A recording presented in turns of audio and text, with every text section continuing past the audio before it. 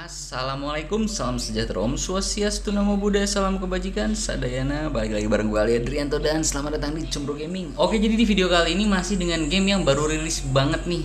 Hari ini tanggal 29 Juni 2023, ya ini adalah game Undown Garena. Oke, jadi tadi gue udah coba main-main dulu dan masih banyak banget nih yang bingung cara mainnya, mulai dari gathering di mana, cara dapat atau buatnya gimana, questnya ke mana, harus ngapain dulu, macem-macem. Tenang aja, mungkin gue bakal jawab itu semua satu persatu, tapi di video kali ini gue mau bahas bagaimana cara menaikkan rating dengan cepat di early game dulu nih. Ini berguna untuk kalian para free to play agar nggak ketinggalan ratingnya. Jadi dari awal udah ngegas dulu gitu maksudnya. Oke langsung aja ke step yang pertama. Seperti yang kalian tahu, rating itu pasti ada kaitannya dengan equipment nih guys. Jadi untuk early game ini, equipment basic itu sebenarnya nggak perlu terlalu kalian gas. Nggak perlu kalian gas sampai warnanya kuning gini kayak topi yang gue dapetin ini, ini gue lagi hoki aja. Tapi sebenarnya nggak harus kalian gas sampai kuning, sampai ungu pun sebenarnya nggak perlu yang perlu kalian gas pertama itu adalah di bagian aksesorisnya dulu. Ini gue kasih contoh dulu di sini nih ya. Ini bagian aksesoris ini yang sering banget kalian lupain guys. Apalagi untuk yang baru nyobain dan belum pernah main di global atau di CBT-nya. Itu mungkin sebagian besar dari kalian yang belum nyobain itu nggak tahu kalau aksesoris ini sebenarnya gampang banget buat dibikin. Pertama, bahannya itu gampang banget buat didapetin untuk cara bikinnya juga gampang banget. Kalian tinggal buka workbench kalian yang ini, lalu di crafting, craft weapon, lalu bagian craft aksesoris itu ada di bagian yang bar ketiga ini, guys. Jadi di sini ada firearm muzzle, firearm magazine, firearm stock, grip, firearm barrel dan receiver. Ini gampang banget untuk craftingnya. Kalian cuma butuh bahan yang namanya firearm accessory part dan ini dapatnya itu cuma dari equipment cuma dari equipment shop yang ada di NPC dan harganya murah banget cuma 100 kalian tinggal beli aja borong aja itu. Kalian butuh berapa? 4 4 4 masing-masing 4 kalian tinggal beli aja itu dan udah jadi. Dan itu bisa memboost up rating dari karakter kalian guys. Oke itu yang pertama di bagian aksesoris. Lalu yang kedua itu di bagian equipment enhancement jadi untuk awal nih, awal kalian pasti banyak banget dapat gratisan resource seperti ini.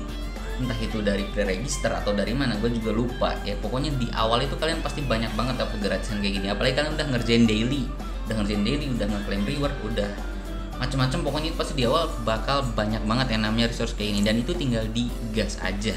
Dan untuk efek enhancement ini plus 6 plus 6 yang kayak gini di equipment equipment kalian itu kalian ganti senjata pun kalian ganti armor weapon equipment sekalipun itu nggak bakal turun nggak bakal berubah. Jadi itu udah permanen. Jadi kalian nggak ada ruginya untuk enhance yang kayak gini. Jadi ini bisa dinaikin. Di awal-awal itu digas aja ini guys. Oke? Lalu yang ketiga itu ada di karakter talent. Karakter talent yang seperti ini itu poin ini bisa kalian dapatkan dari daily yang seperti ini kalau kalian udah ngerjain itu kalian bisa dapat 400 karakter talent satu harinya.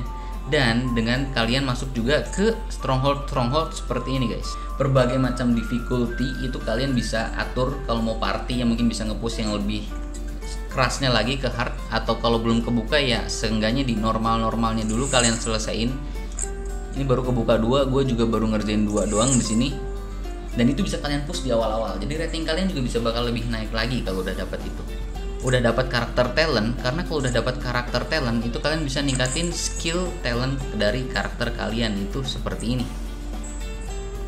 Simple mind dan ini juga uh, apa? Throw throw device device device yang bisa di tanam seperti ini. Dan pasifnya juga itu udah bisa dinaikin. Dan itu bakal ningkatin rating dari karakter kalian guys dan terakhir jelas itu adalah di camp trainingnya. Camp trainingnya juga bisa kalian naikin. Cara untuk dapetinnya sama dengan daily. Di daily pun itu ada. Di daily pun itu ada. Dia ngedrop.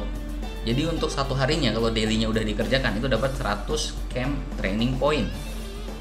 Lalu dengan cara mengerjakan event-event kayak bonfire party itu juga kalian bisa dapat camp training point. Jadi itu tinggal di kerjain aja. Jadi kalian di awal-awal nih yang kalian perlu perhitungkan juga yang kalian harus perhatikan juga kalian harus nyari camp juga. Jadi untuk nambah camp point itu camp training point itu ya. Ya mungkin itu aja untuk early game. Baru itu yang bisa kalian optimalkan. Dan pertanyaannya sekarang gimana caranya supaya rating kita bisa bertahan di S atau minimal di A untuk free to play? Itu mungkin bakal gue bahas di konten-konten berikutnya. Jadi jangan lupa di like di share di subscribe juga agar gue bisa lebih semangat lagi untuk membuat konten-konten seperti ini di game yang baru rilis ini guys. Kalau ada saran dan kritik tulis saja di kolom komentar. Kalau suka dengan video yang di like nggak suka di dislike aja. Oke okay? see you in my next video guys. Bye bye